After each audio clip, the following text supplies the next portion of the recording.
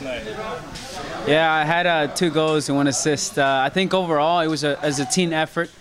Uh, you know, at the end of the day, I, I was able to uh, finish and give that assist to. Uh,